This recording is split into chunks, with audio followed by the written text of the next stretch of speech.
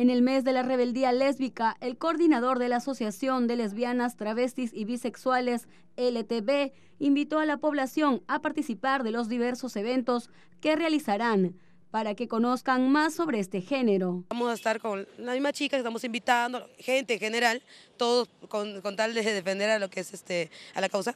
Eh, estamos en esto de, hacer este, la campaña Hazle para la violencia contra las lesbianas.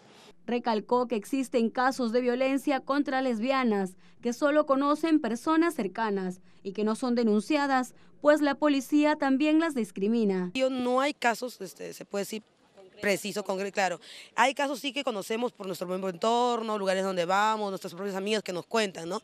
Pero, así... No se atreven a denunciar. No se atreven a denunciar por el simple, bueno, por la misma sencilla razón de que eh, este hay un miedo, ¿no? Hay un miedo de, este, de que cuando uno va a la policía le tratan mal, te discriminan.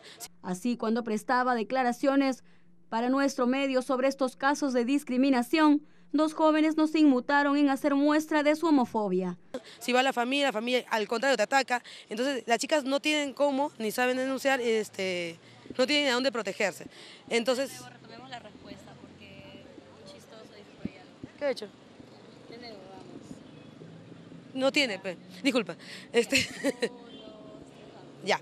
Bueno, lo que pasa es que como acá en Trujillo no hay, no hay, no hay evidencia porque no hay denuncias, eh, este, por el mismo miedo a que cuando vengan a la policía no, no, no discriminan, vas a la casa, la misma familia. Entonces las chicas no están informadas de que sí existen lugares como las asociaciones en las que pertenecemos o la misma Defensoría del Pueblo en la que tú te puedes acercar y denunciar algún acto de discriminación.